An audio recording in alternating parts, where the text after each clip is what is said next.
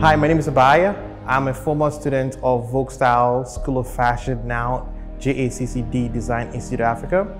Um, I'm currently um, the owner and founder of Abaya Dake Collection, but I'm also a principal success manager at Slack Technologies. So um, I initially started in fashion. Um, so fashion has always been my core um, interests. So I came after high school to um, Vogue Style, now JACCD Design Institute Africa.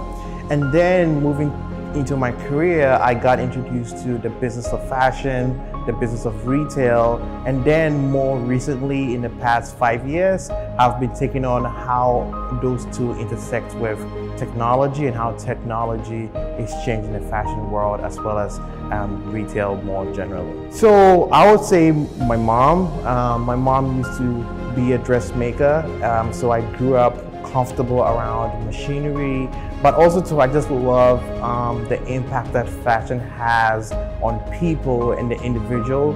Um, so to me, it was more multiple things coming together to get me very excited about fashion. So the best thing about being a fashion designer is the ability to innovate every day. So as a fashion designer, you're able to create, you're able to bring something from conception to fruition pretty easily, or maybe sometimes a little bit hard, but just the whole process and the act of generating a piece of art that is gonna live um, with people to me something that excites me about fashion. Um, so everything to me has happened for a good reason.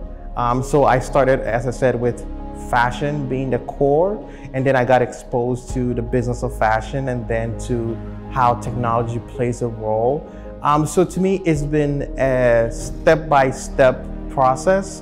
And um, to me, everything has happened for a reason. And to me, it all flows together because all elements are critical for successful businesses in this industry. So after Vogue Style, now JACCD Design Institute of Africa, I moved from Ghana to the United States. I went to pursue um, a bachelor's of fashion design at Lindenwood University.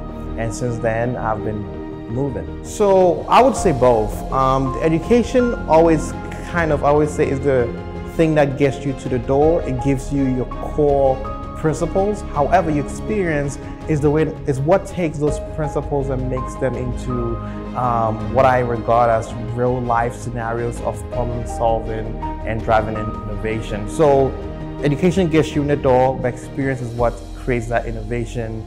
And so it's kind of a balanced answer if you ask me. So technology is not going anywhere. You can fight it, but you're not going to win. So you better embrace it.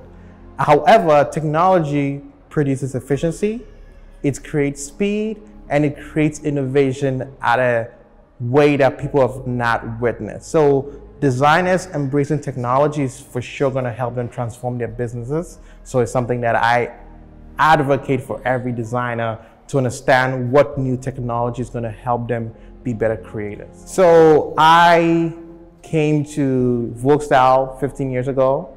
There's been a lot of evolution. As you can see, the school now has multi-disciplines as compared to um, just the fashion focus that it had initially.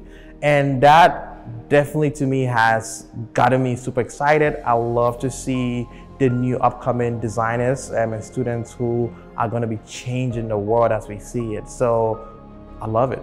So um, speaking to all my creators, creativity allows you to change every single day and innovate at a scale that no industry allows you to.